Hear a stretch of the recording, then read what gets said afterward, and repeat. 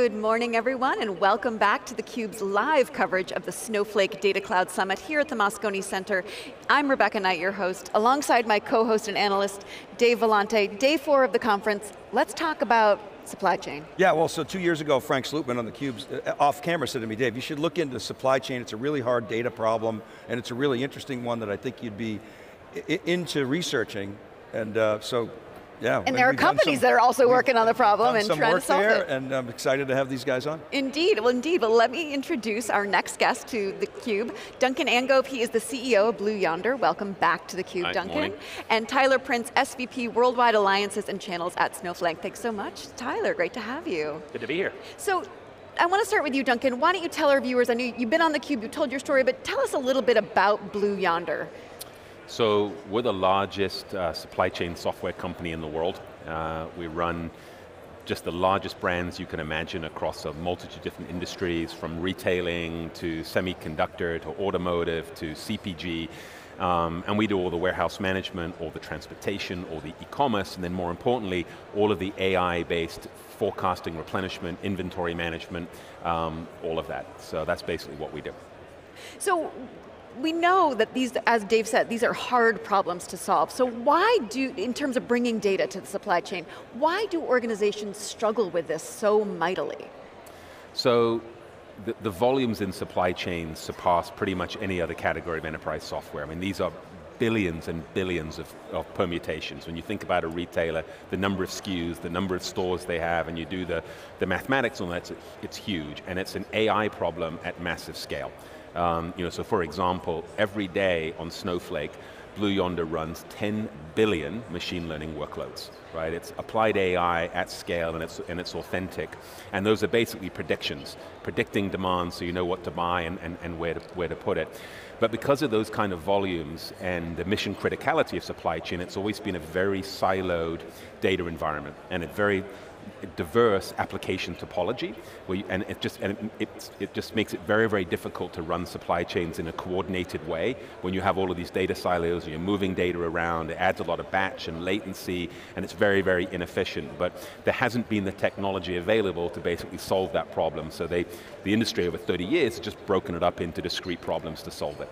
So Tyler. Uh, when Sridhar was here earlier, I asked him, are you a data, a, a, a data cloud company, an AI company, or an application platform for intelligent you know, data apps? And he said, yeah, basically.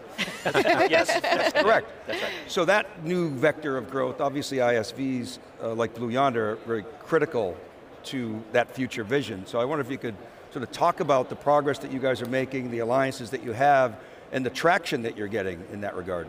Happy to, and, and certainly Sridhar would have articulated the, this, this idea of being a, a, platform and a generational platform in the technology industry. And every platform, if you think back in the, in the history of our industry, has had a robust ecosystem to support it. An ecosystem of people building apps and bringing data uh, uh, and other technology integrations, including services providers, certainly the, some of the largest uh, GSIs in the world, like Accenture, Deloitte, EY, uh, but literally thousands of system implementation firms that can help customers get value out of it but every platform requires that robust ecosystem to, to really bring the platform to life for customers across every industry. And so we're thrilled to be working so closely with Blue Yonder. Uh, th th think, think about how iconic that is to, to, to really come together and, and, and, and, deliver the value Duncan just talked about, which is to, to really bring the data to life and be able to share that up and down the supply chain for so many customers. You know, Duncan, we don't talk about COVID anymore, but I remember you and I were talking during COVID about the future of bringing the digital and physical worlds together. Mm -hmm. And that is happening now, sort of forced by COVID, we all know that. But you've always had a fascination with, with that sort of concept. And how do you see, where are we today, and how do you see that playing out generally and specifically in supply chain? It's been a massive catalyst for people to step back and actually reimagine how supply chain software should support sort of a new blueprint for how supply chains run if you look at the last 30 or 40 years, right, what's sort of powered the world in a way is two concepts around supply chain. One is China as a factory for the world, uh, globalization, all of that. And the second thing is being just in time. Those two things together. And the pandemic sort of exposed the emperor has no clothes, that that's actually a flawed model in today's world, particularly when it's exacerbated by siloed applications that support it. So companies are looking for resiliency. And sort of the way they responded to it is by building up inventory. So uh, JP Morgan did a study of the S&P 1500 and they said in the last two years, working capital has increased 40%. That's $500 billion of extra inventory sitting on someone's balance sheet that's not being invested back in the consumer or growth. And our premise is the answer to resiliency is not inventory, it's software. But not the software we traditionally had, where it's these different silos that don't allow you to operate in a, in a coordinated way across departments and across enterprises. And that's where the data cloud is so powerful all your data in one place, one version of the truth across the enterprise. You're moving applications to the data, and it allows you to operate in a speed and in a way you can coordinate that was unprecedented before this technology came along. So, I'll tell a little story and get your perspective and you can explain sort of how you're going to solve this problem. So I was traveling, uh, my wife was away and she said, hey, we're getting this furniture delivery at the house. Uh, it's two pieces. Can you, can you get home in time to, to be there when they deliver it? Like, yeah, I can figure that out. So I get there, one piece shows up, they drop it off and they're leaving. Where's the other one? Uh, we only have one. The other one's coming, you know, mm -hmm. tomorrow. I'm like, well, I'm not going to be here tomorrow. Okay. So my wife's like, why does that happen? Mm -hmm. Now, speaking to you, I kind of know why happens. yeah. You can explain it better than I can, but I'm more interested in how you're going to solve that.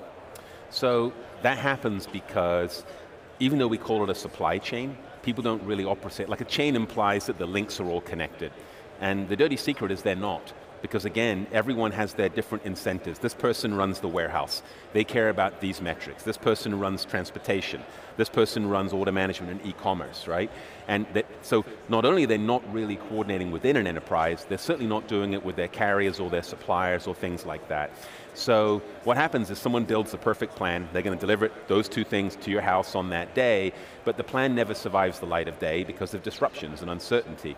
Maybe you get to the warehouse and the robot went along it and that item was damaged, the second item. Or Bob and Bill went on a bender last night and didn't show up for work, right? So, but there's no coordination. When something happens, how can, you, how can you react in a coordinated way in real time to actually resolve that, right? And that's why if you bring all of the data together into one data cloud and you run all the applications on it and you, and you design these applications to actually talk to each other, you actually enable cross-functional excellence and orchestration, you solve that exact problem. And that is a ginormous shift. I mean, just in terms of the way organizations, how the supply chain used to work and how organizations used to run, and how there were these mini fiefdoms within organizations. I run the warehouse, I run transportation. So describe for me, Tyler, how you also help organizations deal with this massive change management issue. Yeah, you know, that's exactly why you know, the secret sauce of Snowflake is the ability to share data among business partners, and that's why the, the supply chain story is so incredible because it's all about the data and sharing that as quickly and securely uh, in a very compliant way with your business partners, not just, just me to you, and not just in the examples, but up and down that supply chain real time. So that's the, the real value of empowering that. Now, driving that sort of solution is, is, is critical to help these customers get that right, because what, what we just described between the two of us is game changing, right, for that supply chain every, and every player within that supply chain. So helping them understand how to get the value out of the data and how to change their business process to, to, to operate in this real-time world uh, is, a, is, a, is a, critical, a critical step in this. So, it, because it goes through, from an asynchronous batch job into something that's near real time. Mm -hmm. I mean, as close to real time as you can possibly get. I guess I would define real time before the truck leaves without the other piece of furniture, mm -hmm. right? Mm -hmm. It some, sends a signal, you've got all those coordinated efforts. What does it require, however, to do that? What are the assumptions that you need? You've got to have the data inside of Snowflake, you've been clear on that. What else you have to have? So it's a good point. I mean, one of the things that has plagued supply chain software is it's batch oriented, right? And it's batch oriented because there's a ton of data, there's a lot of compute where you're running billions of permutations, like the 10 billion a day we do. So it's always been done in batch because you haven't had an architecture like you get with a data cloud where you have access to elastic compute right, and, and, technicalities around zero copy cloning and separating storage from compute. So it allows us to do things we've never been able to do before, and in essence, eliminate batch, right, which is, is the latency that you have in supply chain. It's sort of like, you remember the old military thing, the OODA, the observe, orient, decide, oh, yeah. act thing, and it was all about getting inside your competitor's OODA loop. So that's really what we're trying to do. And if you think about supply chains, all our metrics are founded in speed and time. On time in full, just in time, how fast are your turns, like all, flow, all of these things, right? So what Snowflake allows us to do is inject speed in that OODA loop, right? Get rid of batch, get rid of the hourglass, deploy infinite compute. So that's a big part of it, right? The second part is it needs to be event driven. So if stuff happens, like someone went down the aisle and saw that the second item of your furniture was damaged, right? That event is a prompt into a generative AI right? The event itself is, what should I do? This second item is not available. And then it calls different APIs, different solvers, different AI algorithms to figure out how to solve it on behalf of the human, right? So that's really what it is. It's Snowflake with an event-driven architecture wrapped around it. And you can update that in, in, in near real time. Yep. How are you using, two, two questions, how are you using knowledge graphs and where do agents fit into this? So, um, as you know, we use relational AI yep. as our semantic layer, the knowledge graph that sits on, and by the way, it's perfectly oriented supply chains, because supply chains are all about relationships. This product, this supplier, this brand, this, like it's this store, like it's very um, well tuned to that. So that gives us really, really strong um, AI capabilities, because for language models and agents, it brings context and semantic meaning to the underlying data, right, which is critical for it. And on top of that, we deploy agents. So for every end user we have in the supply chain for Blue Yonder, whether it's an allocator, a planner, a warehouse operator, right, we deploy an agent that augments what they do. And it's attached to our intelligence, our ML, our solvers, all of that. It's, think of it as a calculator for the supply chain. Everyone knows generative AI isn't terribly good at math today, right? So this is like a calculator for the supply chain. Um, and it's connected to our execution APIs. So it can't just figure out what to do, it can actually affect the physical world. It's a bridge from digital physical. So that's basically what we're doing from an agent perspective. How much AI do you have to develop and, and what AI do you want to get from Snowflake? Like where do you, where do you leave off and Snowflake picks up or vice versa? So we leverage Snowflake as sort of part of the, think of it as almost like the middleware for AI and all, all, of that, right? And we obviously develop our own intellectual property around machine learning algorithms, generative AI. We filed 70 AI patents alone last year. We did 17 in Q1 just around generative AI applied to supply chain. So that's a core component of what we do. You know, supply chains were always the birthplace of ops research, and back in the day, yeah, it was right. the beer run and all of that. And you know, so we've been doing AI for over a decade now, like authentically, and we're not just, we didn't just add .ai to our domain name, you know. so it was natural to extend that into the generative AI field, and that's where all the investments that Snowflake's made and what we're doing there, a lot of stuff was announced you know, earlier this week, we're taking advantage of, of all of that to basically uh, accelerate the delivery of what I've talked about. And, and if I could just add, I yeah, think that's please. why we're seeing quite a bit of excitement even here in this room around, around third parties, these innovative companies that can focus on what their core business is and the domains that they're serving uh, around supply chain or bank or whatever the, the, the industry or business process might be but it allows them to focus on those core competencies and leverage the innovation that we're driving in the world of data and AI, because it's complicated, right? And so the things that we're solving allow them to focus on other things. So Tyler, how big an opportunity does supply chain represent to, to Snowflake? I mean, as we've said, we've painted this picture of it is a massive problem for organizations large and small. It, it's a massive problem, a massive opportunity, but it is also dependent on a tremendous amount of data. Like it's almost mind-boggling to think about the, the, the, amount of data. I, I, think it probably, you would know the, the numbers, it probably trumps the idea of, of, of, customer data as an example. The supply chain data that's up and down that supply chain because it, cut, it, it, touches every part of the every part of the company. It includes customer data, but it includes uh, manufacturing data, inventory data, financial data, and so on. So I, I, I think it's a massive a massive opportunity, uh, and I think that's probably what attracted Duncan and his team to, to Snowflake is our ability to process and manage and, and, and govern that much data.